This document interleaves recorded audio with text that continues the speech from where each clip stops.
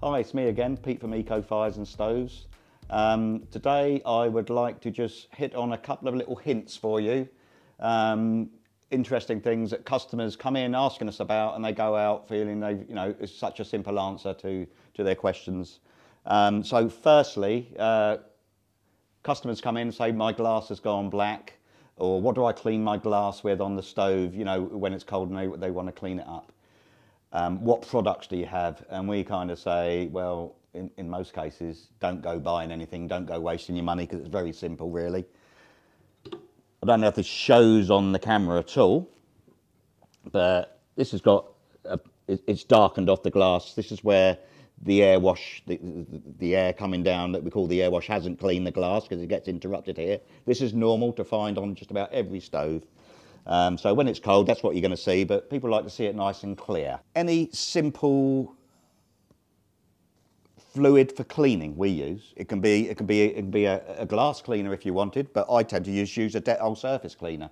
Because of the COVID thing, we've had a lot of this stuff lying about and I just used it once and it works perfectly. But there's, there's a way of doing it. All you do is you spray the glass and then a simple bit of kitchen towel, something like that. I just so happen to have some in my pocket. And then what you do, you start to wipe it but then you dip it in the wood ash. You will not scratch the glass, it's ceramic glass, unless you bought yourself a cheap stove and it's got some, I won't mention what country they come from, um, but they tend to have really cheap glass on them and you can damage them. On most quality stoves, you'll have what's probably called a Schott Robax glass on it.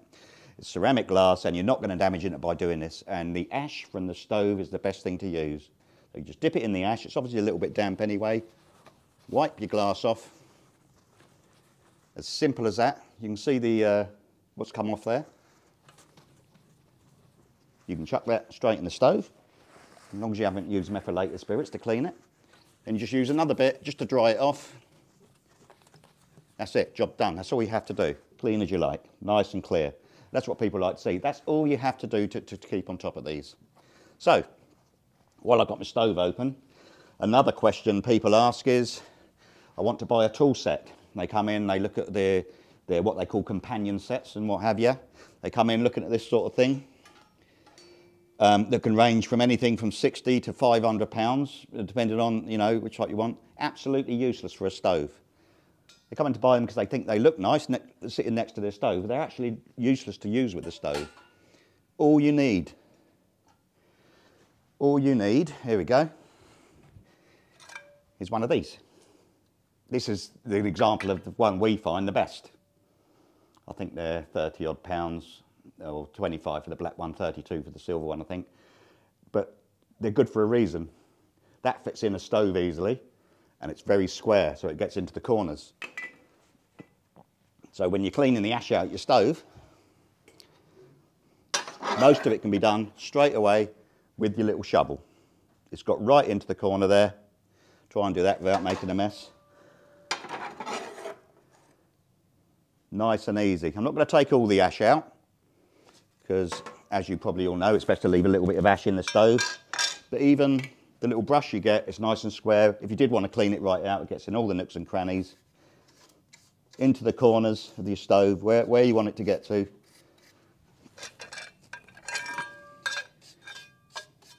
Brush it up off the floor, chuck it in the stove. That's ready to go then.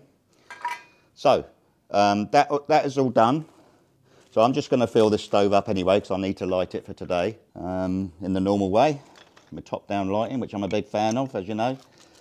Um, so yeah, just want to talk about people that come in with concerns over fuel prices, which is um, obviously getting on, on, the, on the news every day. And obviously we do gas fires, we do electric, we do bioethanol.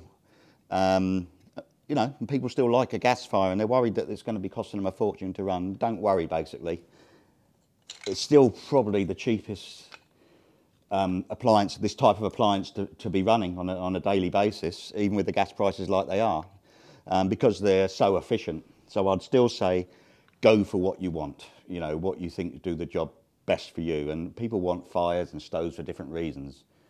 It's either for enjoyment, just because they like the look of them, or they do need them as a major part of their heating.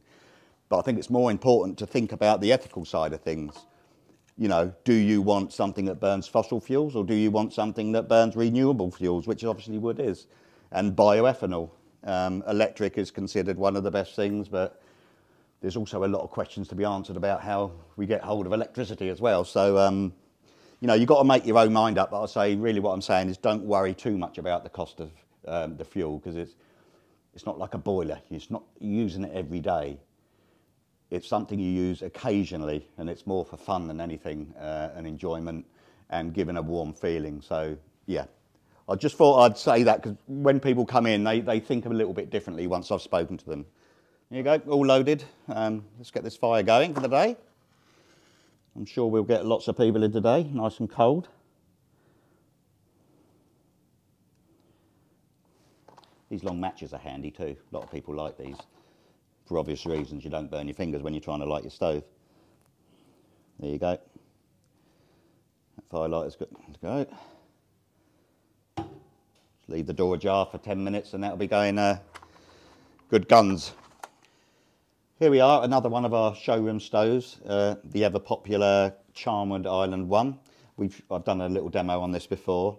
Um, so I'm not going to go through the stove uh, at this point, but I've got this little fan on top, um, which you might want to know about.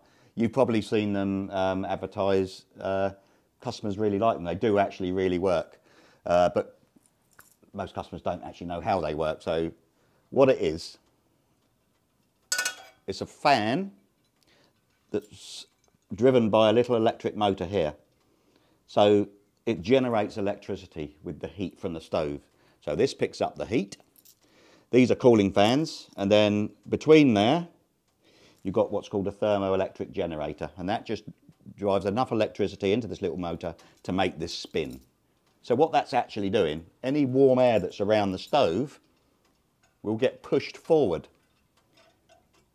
So it's a fan pushing air out, so it creates more of a draft for the warm air, or more air movement, should I say which is really handy sometimes. If you've got a little bit of a squeezed in opening where the, the air movement isn't brilliant. But a good example of why they, of, of, of proof that they work so well is people that have canal boats use them a lot because generally they've got stove down one end, they're sitting up the other, and it pushes that air all the way down. So it's quite a gentle sort of process, but it, they do really work. Um, so when you're using these for a heater and you want to try and get, get more air movement going out, they're great little things. And they're not expensive. This particular one is one of the, the premium models. It's under £60, so um, they're a great little thing to have. And men like them because they're a bit of a boy's toy as well. So, so it, that's just for today. A few things that I thought about talking about. Um, I'm sure I'll be coming up with more tips and stuff in the future. Um, so yeah, just please subscribe and then um, every time I do this, you, you, you hopefully pick up some useful information. So thank you.